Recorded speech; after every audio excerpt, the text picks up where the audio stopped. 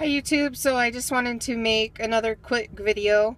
Um, I got this idea from 3140 Baby Girl 2, or her other channel is 3140 Baby Girl, and these are laminated copyright watermark mats that you get from a lady on Facebook.